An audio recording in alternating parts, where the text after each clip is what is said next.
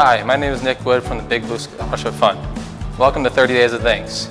Today's winner is Nancy Davidson of Bellevue, Washington. Congratulations. Somebody from our office will be in contact with you to tell you about your prize. And for all of our other donors, we want to thank you for your generous time and contributions that you give to Utah State Athletics and uh, everything that you do to make it so great. Go Aggies!